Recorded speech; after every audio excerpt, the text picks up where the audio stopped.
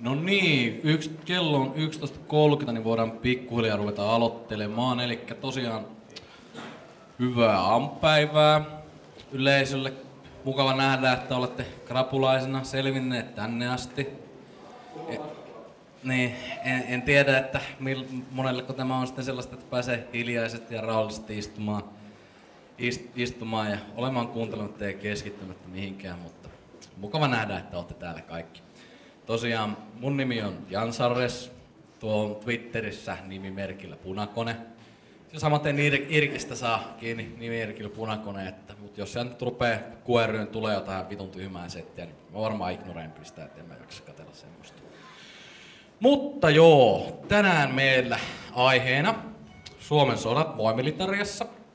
Öö, title pitää osittain paikkansa, ei kokonaan, koska tässä on pari settiä, mitkä nyt ei välttämättä ole moe, vaan näyttää enemmän sellaista peruskorkkarimeiningiltä, mutta joo. Eihän siinä, mehän voidaan sitten vaikka liikkua eteenpäin, katsoa vähän, että mitä tässä käydään. Että Suomen sodat kun puhutaan, niin siinä yleensä tarkoitetaan nimenomaan meidän kolmea sotaa. Muille riitti yksi sota, meillä piti olla kolme. Ja se on tosiaan toi talvisota, jatkosota, Lapin sota. Ja sitten nämä teokset, mistä me tässä puhutaan. Niin no, Strike Witches yl- vähemmän yllättäen on siellä heti, ja siitä on itse asiassa vähän enemmän tavaraa, koska se on vähän isompi setti.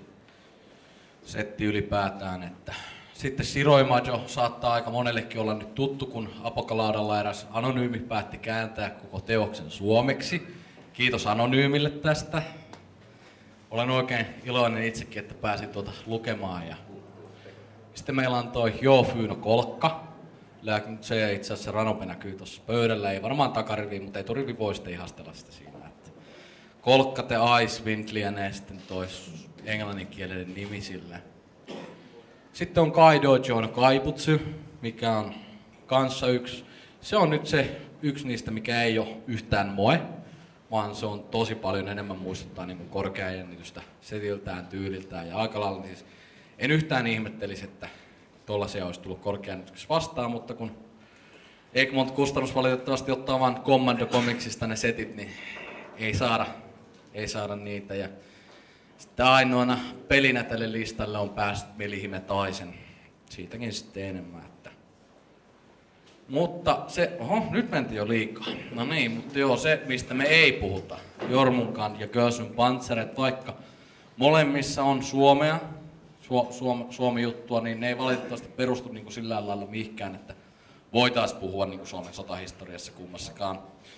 Vaikka tuossa Karupanissakin tuli tuosta Stugien käyttämisestä hommaa. Ja tässähän on tosiaan sitten so, majuri Sofia Velmer, niin se on muutenkin sellainen juttu, että taitaa tänä vuonna tulla vasta ensimmäiset naismajurit Suomeen ylipäätään. Vähän edellä aikaansa ollut se.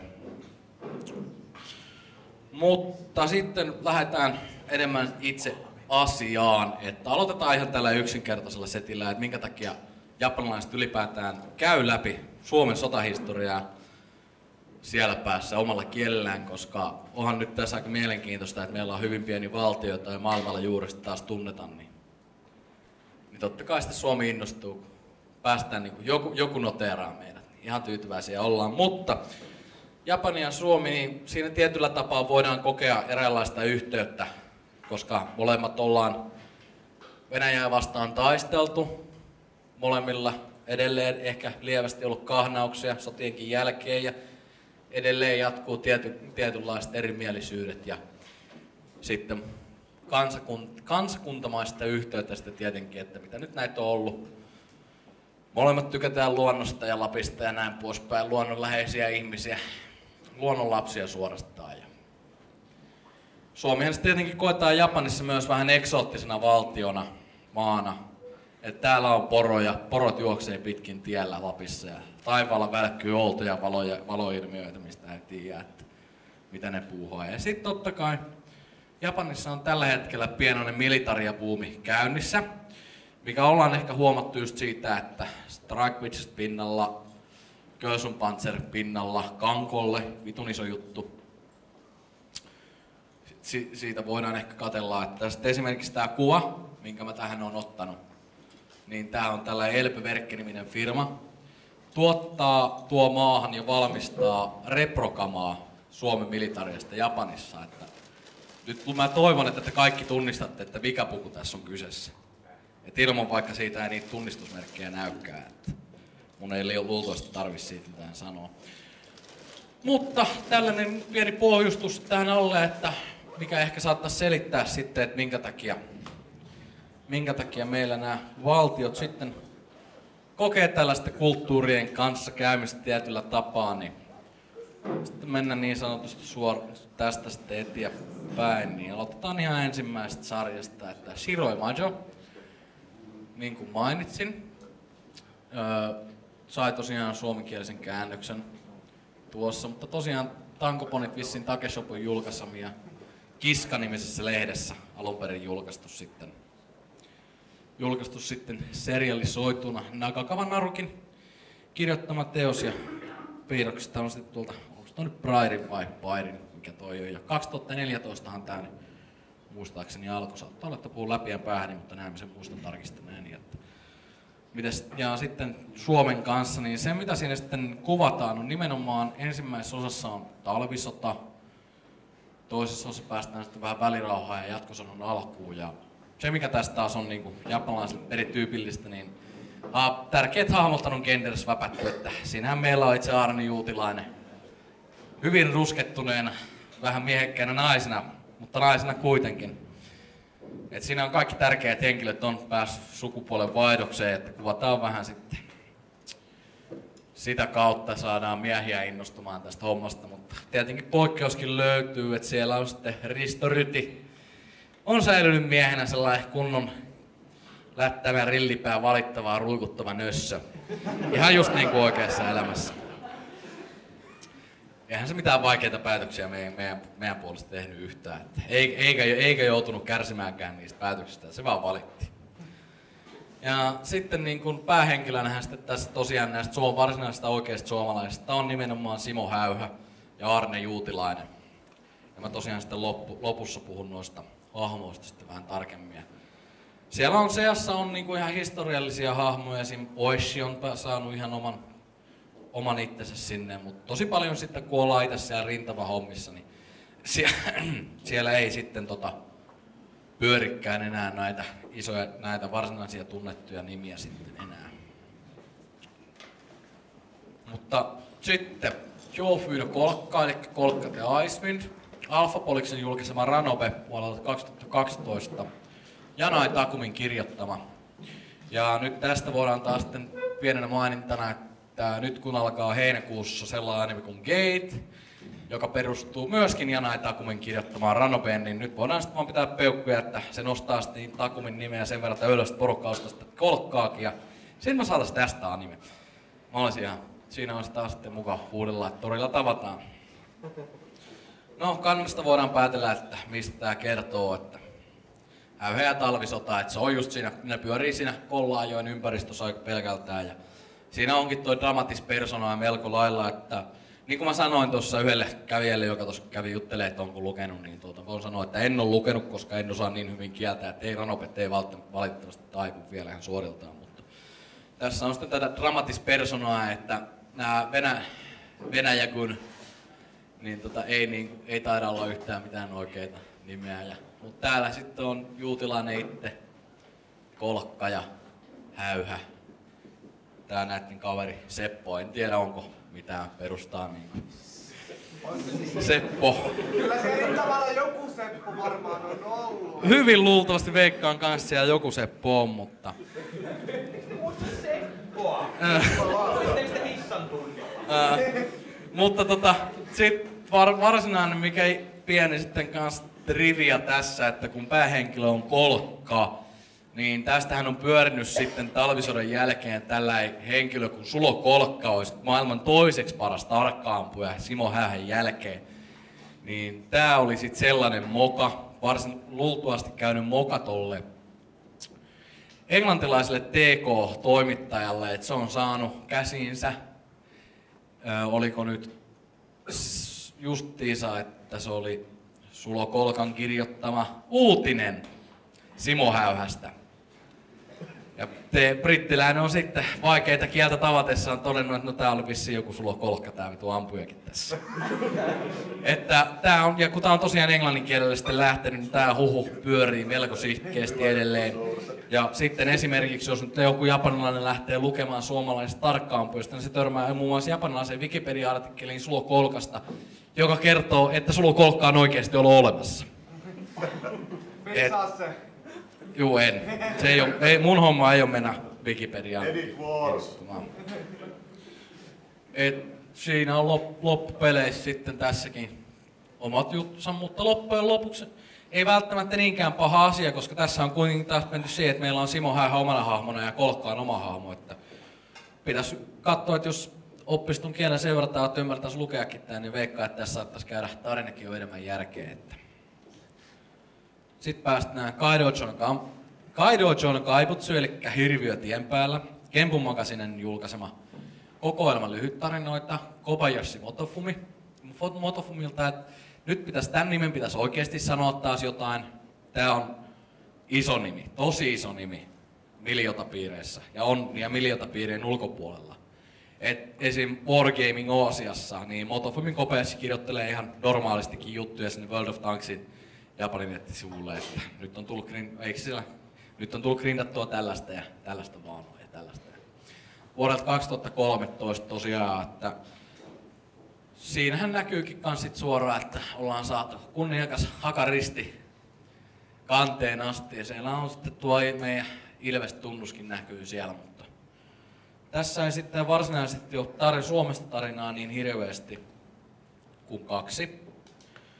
Ja toinen käsittelee Laakusta ja toinen käsittelee Katajaista. Molemmista puhutaan enemmän, että tämä, oliko tämän H.T. Musukono Kikan kertoo Laakuksesta ja mistä, mitä ne, kun ne pamautteli vähän vaunuja siellä kovaan tahtiin, mikä on edelleen Unisatin ennätys. Ja sitten Suiteinaa Katajainen, eli epäonninen Katajainen, taas sitten kertoo vähän tota Katajaisen elämäntarinaa ja se valottaa melko lailla myös sitä, että miten Katajainen nähdään ulkomailla ja siinäkin on yllättävän paljon eroja, eroja sitten, tota, että kun miten, miten me tota, Suomessa nähdään Katajainen ja miten ulkomailla nähdään Katajainen, mutta siitä sitten myös Katajaisen kohdalla lisää. Molemmissa on aika paljon taiteellisia vapauksia, että tota, luettuani ne, niin tuli kaverin kanssa todettua, että eihän nämä hommat ihan välttämättä näin menneet. Että mä niistäkin henkilöiden kohdalla sitten kerron, että mikä asia siellä mättää. Ja siinä on vähän sitten, en sitten tiedä, että valitettavasti näissä kaikissa on se, että lähdemateriaalia harvoin merkitään. Niin jollet satu jotain lähdemateriaalia lukemaan, josta löydät virheen, joka toistuu näissä, niin luultavasti niistä pystyy arvaamaan, että mistä ollaan lähdetty. Mutta valitettavasti näissä on sitten just se, että hankala siitä lähtee sitten päättelemään, että mitä, mitä tässä meinataan. Mä pahoittelen tosiaan tätä kuvaa, minkä mä tähän on laittanut, koska yllättäen tästä ei ole mitään skanneja netissä. Ja, mä joudun, ja mulla ei skanneria ole, mä joudun puhelimella ottaa kuvan tuosta aukeamasta. Että siinä laakus tuhoaa vähän panssarivaunuja. Sitten uusin tuotos tässä porukassa, Milihime Taisen. Edlax tuli siltä selainpeli. Aivan jäätävää OpenGL-toteutusta ja sa- Saamarin raskas peli pyörittää. Se on samalla lailla Kankollen tapa, tapainen selainpeli, että sä keräilet siinä tyttöjä, niiden kortteja ja sit sä usutat ne sellaisten epämääräisten mustien möykkien kimppuun, jotka on niinku vihollisia sit olevinaan siinä. Eri, suuri eroavaisuus totta kai tulee siinä, että siinä missä Kankolle sä keräilet sotarikoslaivoja, sä tässä keräät sotarikollisia. Et tota, se, et tosiaan tässä on enemmän henkilöitä, että tässähän on itse puolalainen Orvikki. Orvik, en tiedä henkilöstä yhtään sen enempää. Orvik pääsi siihen latausruutuun asti. Ja siinä on tosi paljon kanadalaisia, ranskalaisia, saksalaisia, italialaisia, romanialaisia. No romanialaisia on tällä hetkellä vain yksi, mutta romanialaisia ja suomalaisia totta kai, venäläisiä. Kaikkea tosi kattava taustatutkimus tehty, koska jokaisella, melkein jokaisella suurimmalla osalla on oikeasti hahmokin tehty silleen, että ne piirteet tulee jostain, mitä ne on tehnyt silloin, kun on ollut. Ja tästäkin sitten, kun puhutaan noista suomalaisista hahmoista, mitä tässä on, niin siinä sitten esimerkkejäkin näytä, käydään sitten läpi, että mitä nämä sitten tässä On. No Milhimi taas ja Suomi, niin liuta suomalaisia, että siinä näkyy heti ensimmäisenä Mannerheim. Siellähän on, siellähän on, siellähän on se Marskin rytmisauva, mikä sa- sauva onkaan siinä kädessä. Ja arvo, arvokkaan näköinen naishenkilö. Ja totta kai ra- ratsuväkeä. Et sinällään outoa, että Mannerheim on pist- pistetty ratsuväen yksiköksi eikä komentajaksi. Lukee kyllä jalkaväki japaniksi. Joo, kyllä se on sikäli just siinä, että rintamat, siinä pyörittää ne tehtävät, mitä tulee rintamittain, että sulla on itärintama, länsirintama, jostain syystä tämä kaikki keskittyy Saksaan. Mutta sulla on itärintama, länsirintama ja uusimpana lisäyksenä on tullut sitten toi Afrikan, Pohjois-Afrikan rintama, että siellä sitten pääsee kertoa, että saako satunnaisdroppina rommelin. En ole saanut. Siinä on alle prosentin chanssi, että se putoaa. Terve menoa grindaamaan. Mullakin on joku yli 200 tuntia tässä pelissä nykyään. Mutta tuo, mm, ei muuta kuin, että tähänkin on tullut jälkikäteen vielä julkaisun jälkeen on lisätty suomalainen lisää, niin toivona on, että me saadaan vielä rintamakin sinne, että oikein Suomen rintama ja lisää suomalaisia, koska onhan se nyt hienoa, että nämä piirteet tässä onkin. Sori, mä en ota kysymyksiä tässä, tässä aikana. Otetaan loppuun, jos jää aikaa. Varmaan jää. Että koita kirjoittaa ylös tai jotain. Öö, niin, ei ole rintamana vielä. Toi, toiveena sitten on, että saadaan, saadaan sekin sinne, sekin sinne sit mukaan. No, sitten tämä isoin potti. Strike Witches, siinä on oikein hieno Mixed Media Project. Sitä on, on ranope, on manga, on anime, on draama CD, on kaikkea. Ja sehän on tällaiselta henkilöltä kuin Fumikane, Fumikane Shimada, joka, ta, joka tässä taustalla pyörii, pyörii. Ja 2005 vuodesta lähtien sitten tämä homma on ollut käynnissä. Että siinä on nyt tämän uusimman Suomisetin kansi. Strike Bitches Aurora no Majo, eli mitenkäs tuon nyt sitten kääntää? Revo tulee nuoret, Aurora nuoret, anyway. Lakkonoin. Lakkonoudat, juuri ne. Niin siinä sitten Strike Witches Suomi, niin siinä on tosiaan molemmat sarjat, mistä, missä lähinnä suurimassa käsitellään pelkästään suomalaisia, eli jo mainittu Orano Macho ja sitten Suomusu Iranko Chy tai Kamparo, mikä kertoo sitten tämä, tai niin kuin englanninkielisellä nimellä Suomus Misfit Squadron, mikä sitten taas kertoo näistä, kaikki lähettää ongelmatapauksessa Suomeen. Ei me olla mikään Australia. Juuri se me ollaan. Mutta Strike on tosiaan, siinä on hyvin paljon suomea ollut, ollut käytettynä ja käytetään edelleen. Ja siitä mulla onkin sitten, päästään sitten vähän raskaampiin aiheisiin sitten. Lentolaivue 24. Et tota, talvisodan aikana tai no siinä aloitetaan nyt mennä, että se on niin kuin sotiemme tunnetuin lentolaivue. Siellä oli melkein suuri osa näistä ässistä, mitä meillä oli. Olivat ainakin osan aikaa siellä tai kävivät. Ja talvisodan aikana kaikki modernein torjunta hävittäjäkalusto, eli Fokker DX oli, niissä, oli siellä käytössä ja nehän sitten on, onnistukin siinä hommissaan ihan tarpeeksi hyvin. Että sitten jatkosodassa siellä oli sitten saatit saavat Brewsterit sinnekin. Brewsterit saavat sinne ja loppu sitten, kun toi lentolaivue kolme neljältä vapautui noin G2-mersut, niin sitten ne tuli ne vuonna 44 niille käyttöön myös ja loppuvaihe sitten vielä kesällä saavat noin uudemmat G6-mersut, Messerschmittit sinne, millä pääsivät sitten suorittamaan ja sitten niillä vaihtui nimikin tuossa helmikuussa sitten, että siellä oli hävittää lentolaivue 24. Et se on. Et sitten Striker Unitit itsessään tässä, ne on kaikki tehty G-mersojen pohjalta. Et niin kuin ainoat poikkeukset, niin kuin tuossa lukee, niin Nipalla ja Lauralla on tota, Brewsterit, mitkä on sellaisia tosi... No Brewster itsessään on sellainen lentävä tynnyri. Jostain syystä sillä on myös lempinimenä Taivaan helmi, mitä mä en oikein pysty kuvittelemaan, että sitä on kukaan niin kuin, niin kuin rehellisesti sellaiseksi nimittänyt, mutta niin sehän näkyy sitten tässäkin, että ne on tosi sellaisia pulleita, paksuja mötiköitä, mitkä ne lyö jalkoiset kiinni ja lähtevät peräsuristimina lentämään sitten. Ja sitten Orono Majossa tosiaan kaikki hahmot on ainakin olleet lentolaivoja 24. Ja sitten osa on sitten tuolla lentolaivoja 34, mikä oli sitten tota 23.1.1943 tosiaan perustettu eliittilaivue, eliittiyksikkö. Kun ne sai ne Saksasta ne uudet G2 Mersut, niin sinnehän otettiin sitten nämä kaikki kovimmat miehet. Että muun muassa sitten tota, Jultilainen lähti tähän yksikköön sitten lentämään. Ja siinä näkyy, näkyy sitten tuossa toi, että missä Oron on Maggio, niin se on sijoitettu Wärtsille lentotukikohtaan. Että mielenkiintoa valinta sinällään, koska tämä oli oikeasti mullekin ihan niin kuin sellainen, että aha, Wärtsillä lentokenttä, mikä tämä on. Niin se on ihan oikea, oikeasti ollut, että niin kuin siinä näkyy, niin siinä on, tämä kartta taisi olla talvisodan aikaa, mistä mä tämän kaivoin sitten, että siinä näkyy tuo Wärtsilä kylä tuolla ja Tohmajärven tie menee tossa ja Wärtsilä lentokenttä itsessään tossa, että Tämä on tosiaan alun perinkin perustettu sotaajan tarpeisiin 30-luvulla, että siellä ei ikinä, ikinä ole koskaan ollut mitään kaupallista käyttöä.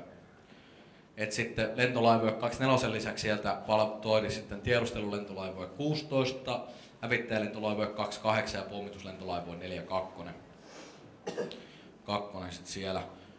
Mutta sitten tota, tämä hävittäjälentolaivoja 24 sotien jälkeen, eli nykyisellään, niin se on sitten rauhaajan kokoonpanossa sen nimi muuttui hävittäjälentolaivo 31 ja tänä päivänä se on Karjalan lennoston joukkoyksikkö ja siinä on sitten kaksi Hornet-lentuetta ja yhteyslentue. Et luultavasti jos olette Karjalan lennoston harjoituksia käynyt katsoa esimerkiksi Lahdesta, kun lähtee 30 kilometriä pohjoiseen, pääsee Heinolaan. Heinolasta vähän eteenpäin tulee Lusi. Lusissa on toi moottoritie pätkä, mitä ne käyttää lentokenttänä, tai se on sotaajan varalaskupaikka, niin Karjalan lennosto on parin otteeseen käynyt siellä harjoittelemassa. Että olen itse käynyt siellä molemmilla kerroilla katselemassa, kun koneet lähtee. Se on hienoa. Suosittelen, että jos on mahdollisuus lähteä. No, varusteista sitten ennen näistä, että mitä nämä nuoret käyttää. Se on aika lailla mukailtu tuosta M36, eli perinteiset armeijan harmaat siellä sotien aikaa. Et niillä on sitten kaulusruusukkeet samaan tapaan, mutta kun niillä jokaisella on kolme niitä kaulusruusukkeita, niin ne vissiin sitten ainakaan noita arvojärjestystään sillä ilma, ilmaise sitten enää siinä vaiheessa, että kun on niillä kuitenkin eri sotilasarvot, mutta jos jokaisella on kolme kaulusruusuketta, niin siinähän sitten yrität erottaa niistä. Mutta onhan siellä sitten totta kai, kun kyseessä on sarja, josta on tarkoitus, että minun kaltaiseni miehet löytyvät lusti tytyn siitä, jota fanittavat ja keräävät kaiken, niin niillä on tietenkin vormuissa sitten vähän tota eroavaisuuksia. Et esimerkkinä täällä on just se sitten, että tuolla nikkajuutilaisella on sitten neulottu One Piece ja Eini Luukkasella on sitten tumma kaulaliina. Että siellä on pieniä eroavaisuuksia jokaisella. Että. Ja aseistuksena sitten sellainen, että Eila Juutilaisella käyttää TV-sarjassa ja elokuvissa, on MG34 rumpulippailla, mitä ei koskaan ole Suomella ollut käytössäkään. Mikä on, tiedätkö sitten, että vaikka saksalaiset konekiväärit on ollut totta kai Mersuissa, mutta käytössä, mutta et liekö sitten ollut vaan, että saadaan enemmän yhtenäisemmäksi ja helpommin tunnistettavaksi, että sitä ei vissiin kanssa moni tiedä, että mikä on Saloranta.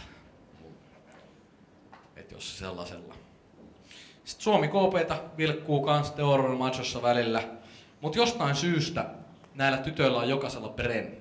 Brittiläinen kevytkonekivääri, jota ei myöskään koskaan ole ollut Suomessa.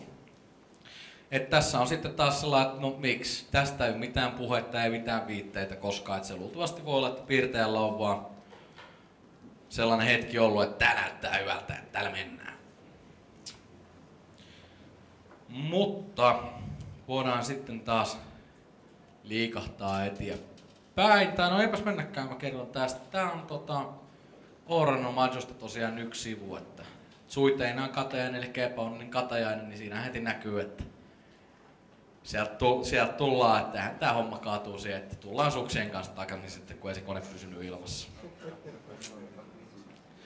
Mutta esikuvat hahmojen takana, nyt me päästään tähän itse asiaan. Sitten vielä niinku itse, e- vielä niinku itse, itse, itse asiaan, eli keitä henkilöihin näissä hommien takana. Että ne on oikeasti, niinku, että ei siellä ole niinku oikeasti sellaisia, että no tässä on tää Tohmajärven Seppo vittu, että se oli ihan saatana kova äijä. Et kyllä se on oikeasti just sit sitä, että siellä on niinku just Eino Juutilaista, Lauri Törniä, Simo Häyhää. Se on pelkästään sitä, että totta kai sitten poikkeuksiakin löytyy, että itsellekin on tullut uusia suomalaisia hahmoja tässä, että mistä on ollut silleen, että no mitä hemmettiä, että tämä on hemmetin kova jätkä, että mä en ole koskaan kuullutkaan tästä, että, että uusia tuttavuuksia, että, ja kuten mä siinä sanoinkin jo aikaisemmin, niin lähdemateriaalia on suurimmaksi niin kuin sellaista, ei mitään hajua, mistä ne on katottu. Jos siellä on virheitä, niin siellä on virheitä, ja sitten oikein osaa sanoa, että onko ne virheitä vai onko ne vain tulkintoja. Et henkilökuvat on sitten, yle, mutta yleensä siihen mihin voi luottaa, että kyllä nekin on sen verran fiksuja, että niitä elämänkertoja, suhteellisen suomalaisia elämänkertoja joskus ovat katsoa, että niissä on sitten yleensä faktat ollut paikoillaan melkein jopa. No, Eino Illu Juutilainen. Yksi näistä henkilöistä, jotka sai kaksi Mannerheim-ristiä. Maailman paras ei-saksalainen toisen, toisen maailmansodan hävittäjä S. 94 pudotuksella. Se ei kertaakaan osuttu, mikä sitten näkyy tässä Strike Witchissä että TV-sarjassahan nähdään, että sehän ei käytä kilpeä ollenkaan, että se vaan väistelee ne luodit, mikä onkin sitten siinä yhdessä jaksossa teemanakin näkyy sitten, että pitää sitä kilpeä käyttää, kun Saniaa pitää suojella, mutta se menee, menee siinä niin kuin arvata saattaa. Ja sitten totta kai Eilahan harrastaa tuota tarotkorteilla ennustamista myös siellä sarjassa, että sitten ollaan, että nyt tuli paha kortti pakasta, että voi käydä hassusti. Mutta sitten tota, suomenkielisissä lähteissä, kun puhutaan Eilasta, eli Einosta, tai nimenomaan Eilastakin, niin sen sotilasarvo on lentomestari, niin kuin Einolla oli oikeastikin. Ja englannin kielellähän se on totta kai se on flying officer. Mutta tota, TV-sarjan ekalla kaudella Eila on kuitenkin vänrikki. Eli se, Eila on sitten niin kuin, sitten japaniksi meneeksi sitten niin kuin, että Jun-i, joka on niin kuin, kuitenkaan toimiupseeri ja sitten enemmän niin kuin, hierarkiassa lähempänä lentomestaria. Mutta siinä on sitten voi olla se, että se voi olla terminä, terminä vähän outo suuremme yleisön setille. Että sitten kun on yleisemmin esiintyvä upseeriarvo, niin se on sitten yleisöllekin vähän tutumpaa. No, meidän toinen, toinen kova äijä, myöskin kahden Mannerheim-ristin ritari, 7-8 ilmavoittoa. Nuorien noittien idoli, ja kattokaa nyt tuota kuvaa. Se on ihan oikeassakin elämässä ollut tuolla kunnon rockistarat olleet. Juu, ei tässä mitään. Että hiukset, hiukset toi kello näkyy. Ei, ei tal, talvisodassa se ei taistellut kuitenkaan, mutta se on, se on kuitenkin päässyt ihan, ihan omansa. Et se oli tota, aloitti tosiaan LLVn 24 vuonna 41 elokuussa, jossa se sitten tota, päätyi sitten myös ykköslentueen komentajaksi silloin, kun Luukkanen siirtyi LLV 30 Mutta tota, se tosiaan sitten haavoittui 28.6.1944 ilmataistelussa. Joo, siihen päättyi sitten hänen sotilasuransa. Mutta tota, se oli koko jatkosodan tuolla LLV 24 sitten. Ensin ensin Brewsterillä ja sen jälkeen Mersulla. Et tota, mä luen teille täältä tämän Has, Hassen kertomuksen, taistelukertomus tästä tapauksesta, missä hän haavoittui, että Ollessani menossa tiedustelulennolle hyökkäsi noin 20 jak 9 Juustilan luonne kimppuumme. Ei auttanut muu kuin aloittaa taistelu. Ammuin kaksi alas ja juuri kun sain kolmannen palamaan, ampuin Jak takaa sivulta koneeseeni osuman. Haavoitun vasempaan käsivarteen pahasti ja pyrin kotiin. Pääsin kentälle juuri viimeisellä voimillani pystyen tekemään laskun. Oma kone MT439. Että, mutta sitten tätä tapausta itse saanut luultavasti käytetty innoittana sitten Orno Majossa yhdessä juonikuviossa, missä on sitten ihan Katajainen mukana. Ja puhutaan siitä sitten enemmän siinä Katajaisen kohdalla. Seuraavaksi päästään Lauri Lapranissinen. Vändrikki. Talviso, tämä oli jo talvisodassa, sai viisi ilmavoittoa, yhteensä sitten kaikki, kaikkinensa sai 32 niitä. Ja se on niin kuin kuvat, kuvattu Orno Matsussa tosi jäyhäksi ja tosi silleen, että se on tosi niin kuin sotilas. Ei paljon hymyile. Mutta kuitenkin sitten taas, ja se on ihan juonikuvio tossa, että ne, siinä on niinku Eila ja Nikka yrittää vedellä, että no koitetaan nyt saada toi Laura, Laura nauramaan, että eihän tästä muuten tule mitään, että se on saatanan vihainen koko ajan. Että pelottaa vaan. Että. Mutta se oli sitten tota, se oli tosiaan talvisodassa jo LLV 24. Fokkerilla viisi ilmavoittoa, tal- jatkosodassa sama mesta. Maaliskuussa 1943 pääsi ensimmäisen lentojen päälliköiksi, mutta 3.6.1944 kaatui sitten kannaksella, kun tota, luutnantti Urho Sarjavon siipirikoksi ammuttu kone putosi Nissisen Mersun päälle sinne lentokentälle. Valitettavasti. Et hauta on sitten Valkealassa, jos sinne haluaa, käy, sitä haluaa käydä katsomassa. Että. Mut, niin kuin sanoin, että jäyhä, mutta kyllähän tuossa kuvassa on jotain hyvin karettaa huulilla. Että ei mikään turha jätkä. Tuskanen hymy tossa. Niin, no siinä voi tietää mitä on tapahtumassa. No, Eino Eikka Luukkanen. Tämä on eniten sotalentoja Suomen ilmavoimissa suorittanut lentäjä 441. Se on niin, siitä nyt alkaa miettiä, että kuinka monta päivää me ollaan oltu sodassa, niin se on niin jos se on joka päivä suorittanut yhden, niin se on silti yli vuosi ja melkein puolet päälle. Et tota, E- Eini Luukkanen, eli niin se on oikealta nimeltään Eino ja sarjassa Eini. Lentolaiva 24 komentajasta siinä mangassa. Näin ei kuitenkaan todellisuudessa ollut, vaan oli tota, talvisodan ajan niin kolmoslentojen päällikkö ja jatkosodan alussa ensimmäisen lentojen päällikkö. Ja sitten vielä eri- erikseen, niin tuota sehän lähtikin sieltä vähän muihin hommiin vielä, että asemasotavaiheessa jatkosodassa niin tuota, 12 Brewster-hävittäjän osasto Luukkanen, mitä yllättäen sitten Luukkanen olikin. Ja 1942 lähti, tota, ylennettiin majuriksi ja lähti tonne LLV 30 komentajaksi. Ja tää laivue tosiaan sitten, jaha, nyt mä tajuan tässä, että mulla ilmeisesti mulla on käynyt lapsus. Se on LLV 30 eikä Itse asiassa. Never mind. Mä sekoilin. Jatketaan. Niin tosiaan LLV 30 komentajaksi lähti. Ja siellä oli tarkoitus tosiaan sukellusveneiden ja merialueiden tiedustelu sotasaaliskalustolla. Ja sitten kun majuri Enroot sai surmansa lentoonnettomuudessa, niin sitten Luukkanen tosiaan lähti tuonne LLV 34, eli sinne eliittiyksikköön komentajaksi sinne.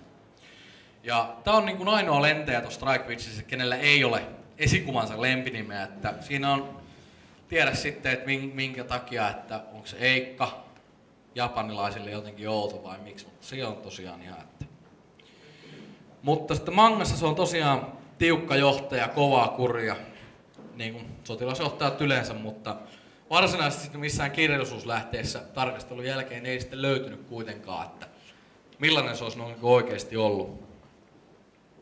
No, nyt päästäänkin sitten Orno, Orno, aha, kirjoitusvirhe.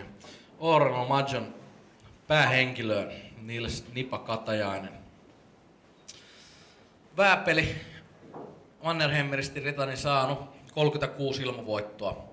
Ainoa reserviläislentäjä näissä, näissä hommissa ollut, että talvisodan ajan oli asepalvelusta, eli lentokoulutus talvisodan aikaa, eikä siis osallistunut talvisodassa sotatoimiin, mutta 41 vuonna liikekannalle panossa niin sijoitettiin lentolaivue 24.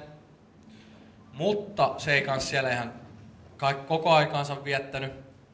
Et se lähti sieltä sitten tonne, se sai siirron lentolaivue kuutoseen suorittamaan tiedustelulentoja, mutta vissiin suht tylsää hommaa, kun se ano siirtoa takaisin hävittäjälaivoihin ja pääsikin takaisin sitten tonne 24. Mutta tota, et siinä missä muut käyttää tota, ihan yhtenäistä pal- asetta, palveluspukua asetakkia, niin nipa, nipal, Nikalla on sitten tota, pitkä neulepusero, näkyy tuossa kuvassa oikein, oikein tuolla kiva ja voi pitää lämpimänäkin sit siellä kun lentelee. Että, ja se on sitten tosiaan, Eela ja Nikka on sitten kavereita, niin kuin saattaakin käydä järkeenkin, kun Eila on siinä pääsar- päätelevisiosarjassa päähenkilö ja siinä itse elokuvassa sitten näytettiinkin, pääsi Nikka jo isolle ruudulle sitten, että ne ovat sitten kaveruksia. Ja sitten tuossa on tosiaan, että Nik, ää, Katajaisella on ihan oma maine tosiaan huono-onnisella lentäjänä Japanissa.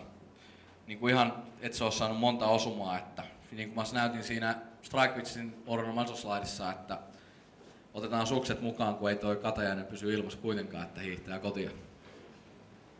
Niin. Ja tämä on sitten myös näkyy tuossa Kempun magasinessa, siinä se tarina Suiteina ja Katajainen.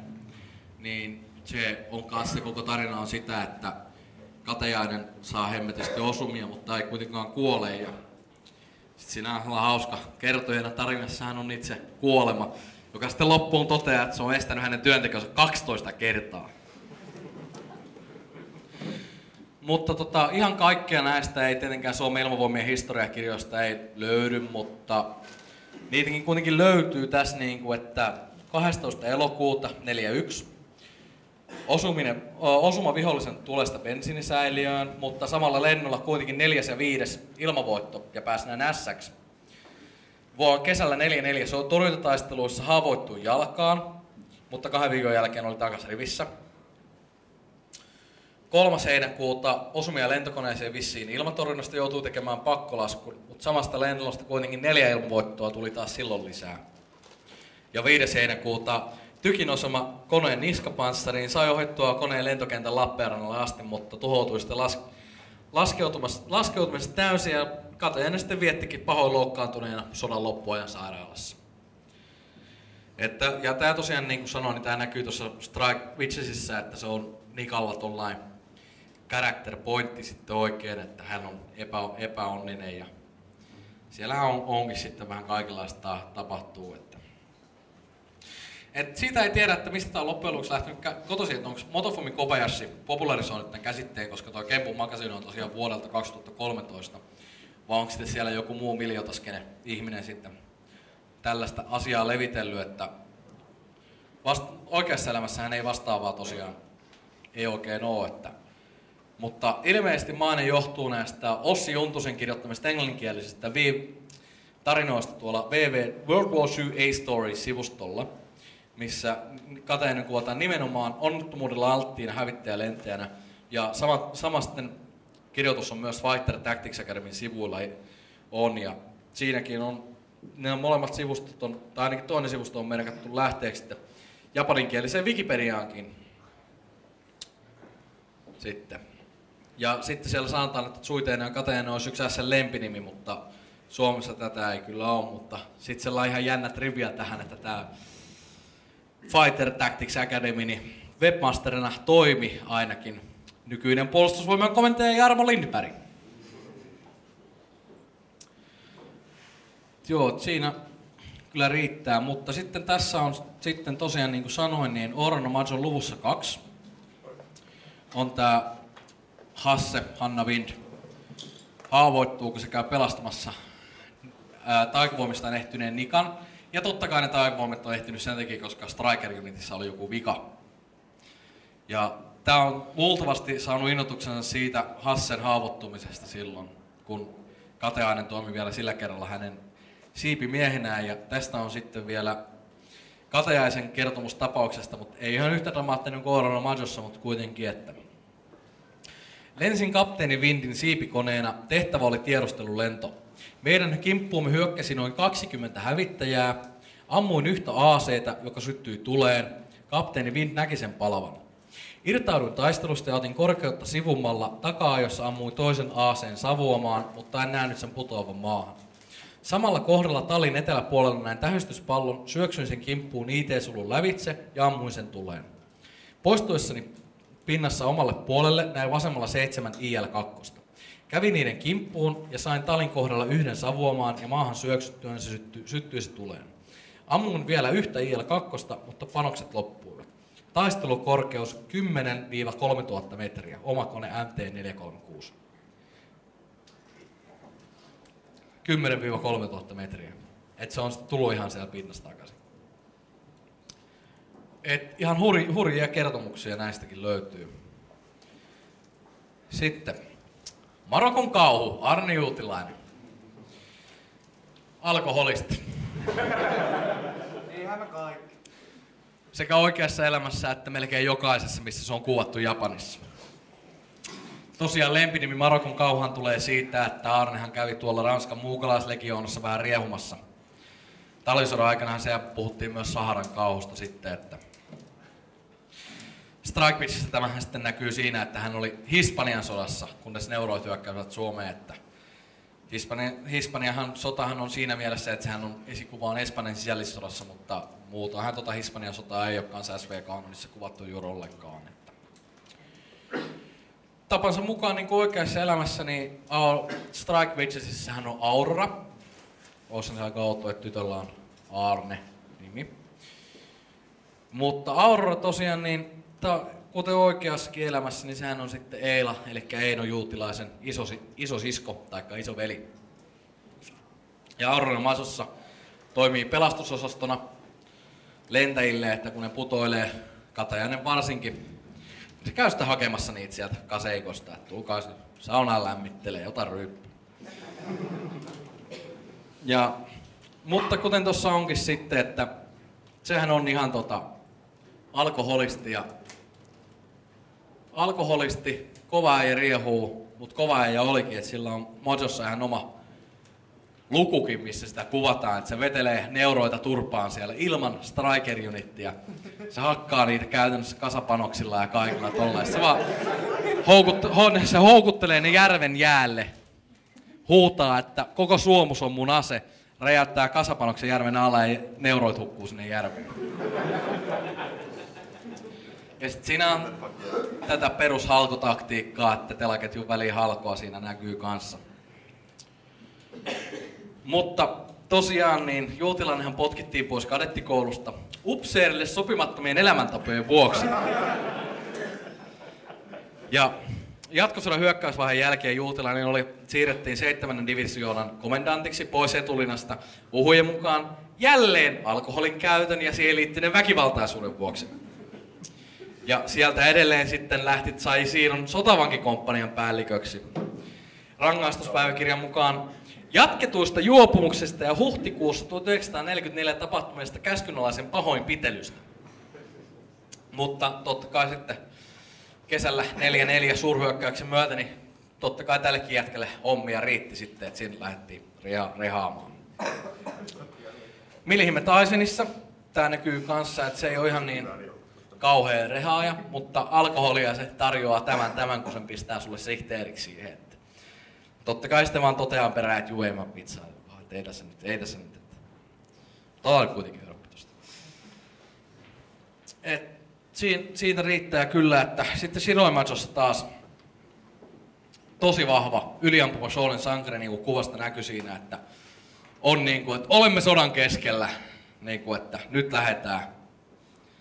Et pitää palopuheita keskellä taistelussa ja sitten tämä voi tuntua ehkä yliampumalta, mutta itse asiassa sodan ajan propagandassa juutilainen näytetään just tällaisena, että siitä on muun muassa Yle Areenassa on elävässä arkistosta kuvaava haastattelupätkä juutilaiset silloin, kun se oli komppanian päällikkönä Kollaalla joulukuussa 39.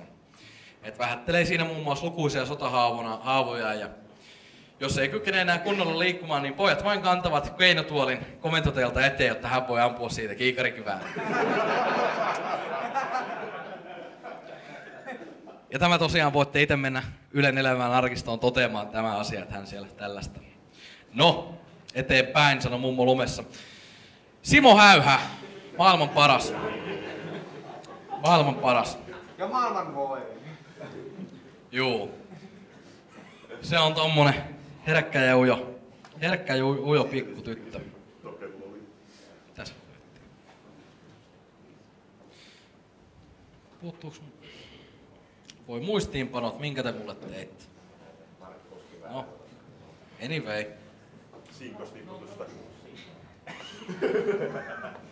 Anyway. Osa talvisodan ihmettä. Monta sillä en nyt ulko suoralta kädeltä muista. 500. Joo, likämä sinne suuntaan.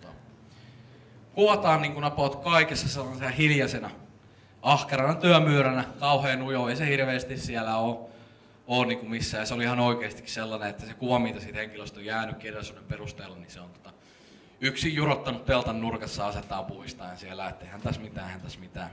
Ja se tosiaan näkyy sitten myös Siroimajossa, missä mikä on tosta noin näkyy häyhä. Ja näkyy kanssa vähän huonosti ehkä, että kun se haavoittu poskeen tai leuka. Leuka lähti niin sanotusti veks sitten kun loppujen lopuksi saivat sen kiinni, niin näkyy siinä. Kun taas sitten Vilihmetaisin, se on vedetty vähän äärimmilleen. Et se on niinku oikeesti. Ja sit kun se laittaa sihteeriksi, niin se on tosi sellainen hiljainen ja puhuu tosi pehmeällä äänellä. Ja sit se vaan ehdottelee siinä, että eikös me voitais pelata kaikkien kanssa pesäpalloa vaan.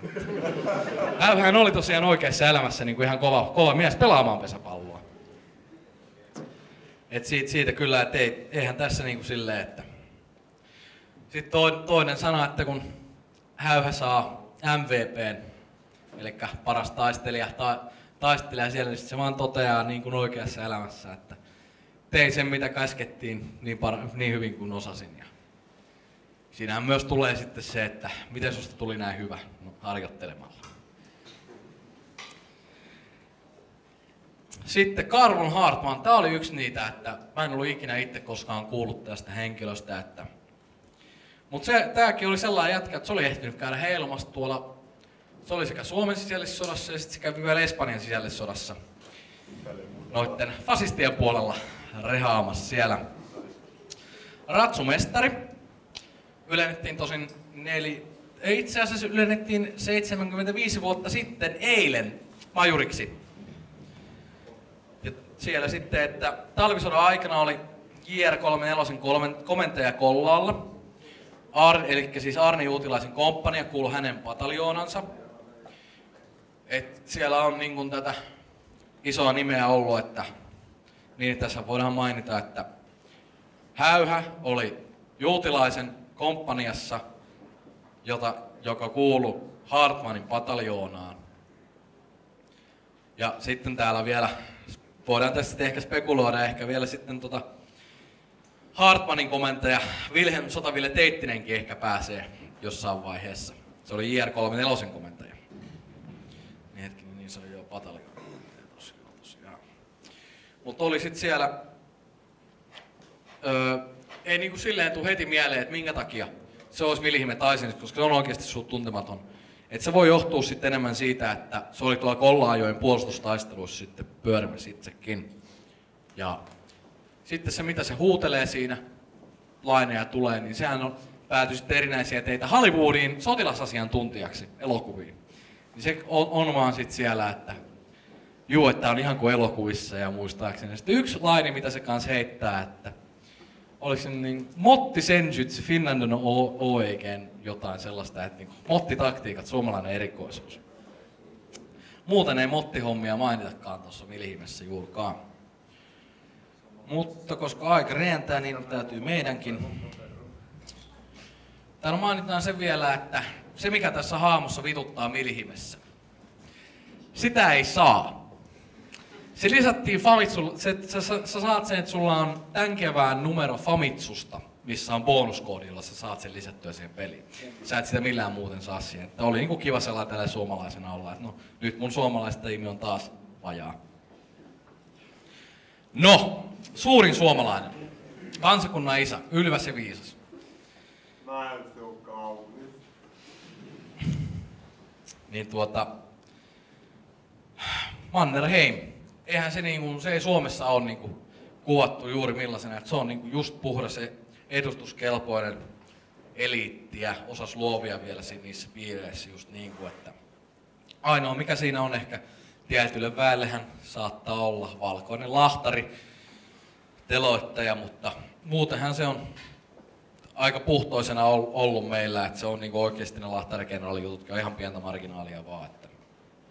Että. Repäisimmät jututhan on sitten luultavasti just se, että se oli Hitler tuli onnittelemaan Marskia syntymäpäivilleen ja no Hitlerhän tunnetaan siitä, että vält, piti kasvisruokavaliota ja noin poispäin, ei sietänyt juuri tupakansa vuonna, niin Marskihan tarjosi, että nyt syödään lihaa ja hän vetää sikaria tässä junavaunussa samalla. Että, et siinä ei hirveästi välitelty siitä, että onko se Hitler vai kuka se on. Mutta si, siinä on myös sitten, että tässä voidaan sitten just tosiaan todeta just siitä, että niin on tämä Mannerheimin kohtaaminen Hitlerin kanssa, niin sehän on, voidaan, kannattaa suositella lukemaan tuon Mannerheim ja ihmissuoja niin se on ihan hauska dramatisaatio tästä aiheesta. Ja tota, sitten Shiro Majossa kanssa tällä vakava ja varteutettava nainen, jolla kaverina sitten Lennart, Kurt Lennart Oesch, päässyt myös tähän vähän pienempi nimi sekin, että se oli oikeasti periaatteessa voidaan ehkä ajatella, että Mannerheimin oikea käsi, lähinapulainen tuolla yleisesikunnassa. että se on kuvattuna kanssa Siroimaisossa, mutta muualla siihen ei ole kanssa törmännyt vielä. Sitten päästään mun henkilökohtaiseen suosikkiin. Ruben Laakus päässyt kanssa.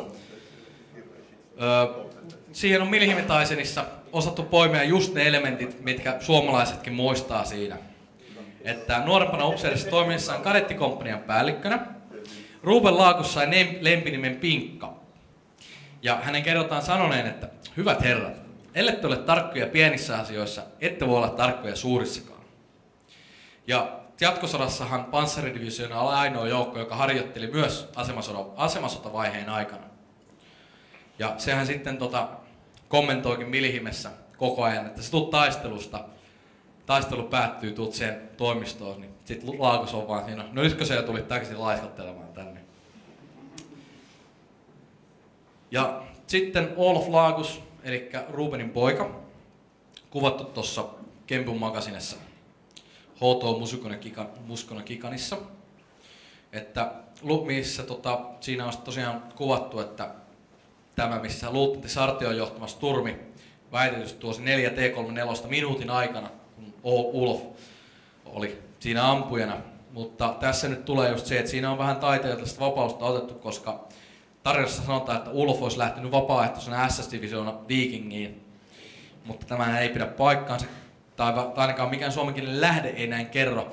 Että joko tässä on nyt se, että Kobayashi on ottanut vähän omia juttujaan, tai sitten, että se on sekoittanut Olaf Laukuksen sen, että luutnantti Sartio, eli se vaunun komentaja, oli vapaaehtoisena tuolla panttipataljoonassa sitten. siellä. Sitten päästään vähän toiseen tosi tuntemattomaan nimeen, Erkki Halonen. Mä, opin, mä kuulin Erkki Halosesta ensimmäisen kerran, kun mä rupesin pelaamaan milihimeä. Eli niin kuin tässä keväällä. Se on oikeasti, että siitä ei oikein löydy tietoa suomen kielellä. Tämä valokuva, mikä on, niin missä näkyy, että eihän tämä ole lähelläkään jatkosta. Tämä on tuolta prikaatista vaunuhalliin edestä otettu kuva hänestä sotien jälkeen.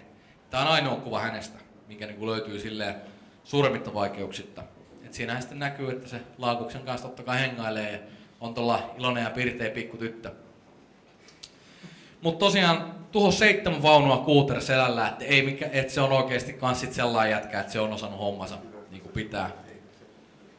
Niin kuin pitää ja sitten, mutta koska sitten tietoa ei ole, eikä japanilaisetkaan ole sitä löytänyt, niin se ei sitten juuri muusta huutelekaan kuin saunasta ja salmiakista. Että. Taas tuli jälkeen toteen, että no niin, komentajakin syö tästä vähän salmiakkeja ja taistelun jälkeen saamani sauna päälle, nyt mennään.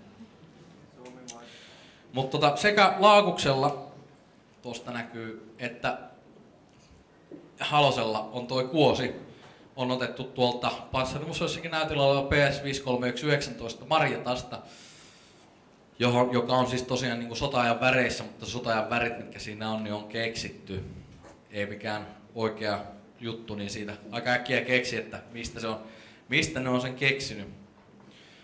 Sitten ehkä eniten mielipiteitä jakava henkilö, Lauri Törni. Palveli sekä Suomen armeijassa, Waffen SSS että Yhdysvaltain armeijassa.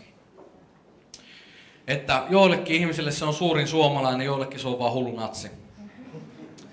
Et tota, sehän vielä välirauhan tota, ja solmisin jälkeen niin oli vielä saksalaisten koulutusoperaatioissa näissä stay behind joukoissa, että jos Neuvostoliitto miehittää Suomen, niin hän on sitten mukana rehaamassa.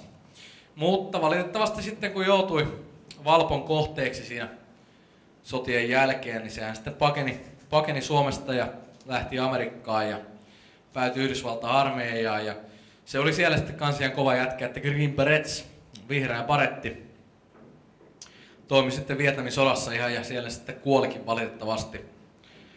Se taisi olla sellainen, että se helikopteri törmäsi vuoreen. Muistaakseni.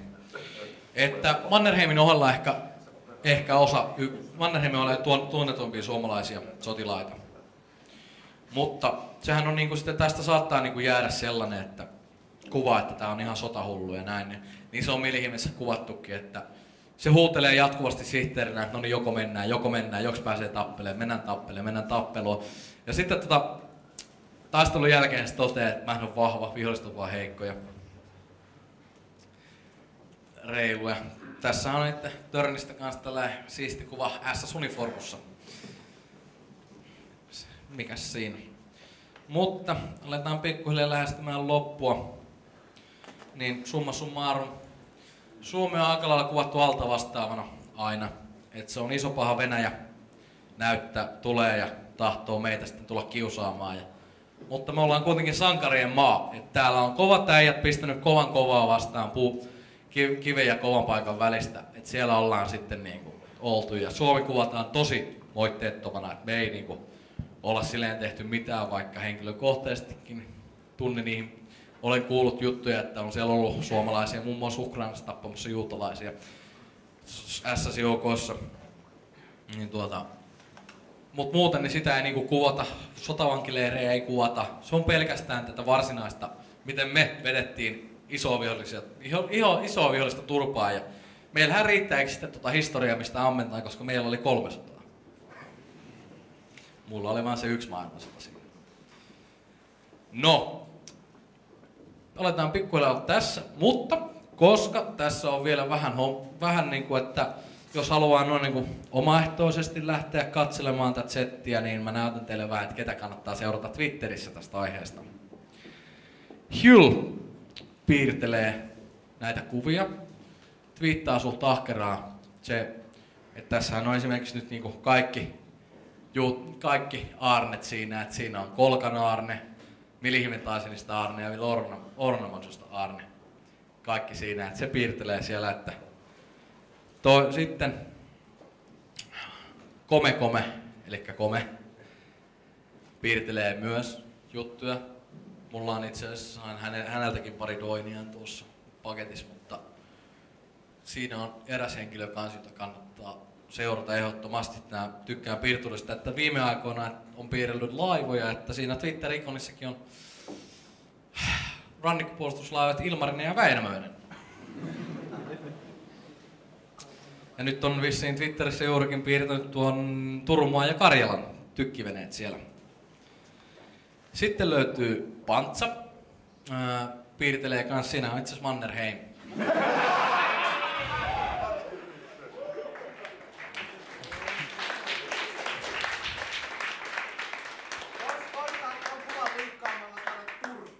Mm, niin tota, se piirtelee vähän näitä tällaisia. Tota. Juu. Se, se, se, piirtelee näitä, että itsehän hyvin mielenkiinnolla seuraan nimenomaan pantsaa siellä sitten. Että katselen niitä. Se, se on, Pantsali itse asiassa kävi sillä lailla, että hän piirteli fanarttia Twitterissä, mutta se on vähän tunnetumpi nimi kuin nämä muut. Niin hän päätyi piirtämään oikean hahmon Milihimeen. Että se pääsi niin kuin siinä hommassa eteenpäin. Sitten löytyy Kikiki Kiki, joka on myös tehnyt Doinin nimeltä Talvisota, tankkiantropomorfismi. jossa on muun muassa Vickersi on, Vickersi on kuvattuna sellainen hauskainen pikkutyttö, joka on niin kuin, että nyt että mennään eteenpäin, mutta se on vähän sellainen clumsy ja siinä sitten menee, että ei välttämättä ihan helpolla tätä doinia saa mistään, mutta skannit saattaa löytyä jostain, että suosittelen kanssa seuraa. Ja Kikikiki on taas sitten näitä jätkiä täällä, jotka opettelee suomea ja twiittaileekin välillä suomeksi ja on käynyt Suomessa. Ja sitten viimeisenä vaan ei vähän sama Shichisaburo. Siinä näkyy kanssa, että siinä on yritystä. Tämä on hänen tulevasta doinistaan.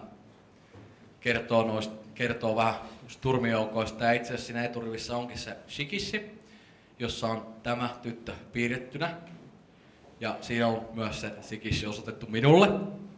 Tullut häneltä henkilökohtaisena lahjana, koska minä autoin häntä tässä doinissa suomen kielen kanssa. Että jos joskus satutte sen lukemaan ja toteatte, että tämä suomen kieli on ihan vitun perseestä, niin juu, se on luultavasti mun syytä, koska se oli mullekin pientä opettelua siinä vaiheessa. Se oli siinä vaiheessa mullekin pientä opettelua, että miten mä selitän japaniksi, miten suomen kielellä kommentaan panssarimaamia. Se oli vähän outoa. Mutta sen pidemmittä suosittelen näitä kaikkia seuraamaan. Tuosta saatte katsoa, että mitä lähteitä tässä on käytelty. Jätän ne vaikka siihen hetkeksi aikaa. Ja eiköhän tää ollut pattirallaan tässä. Kiitos.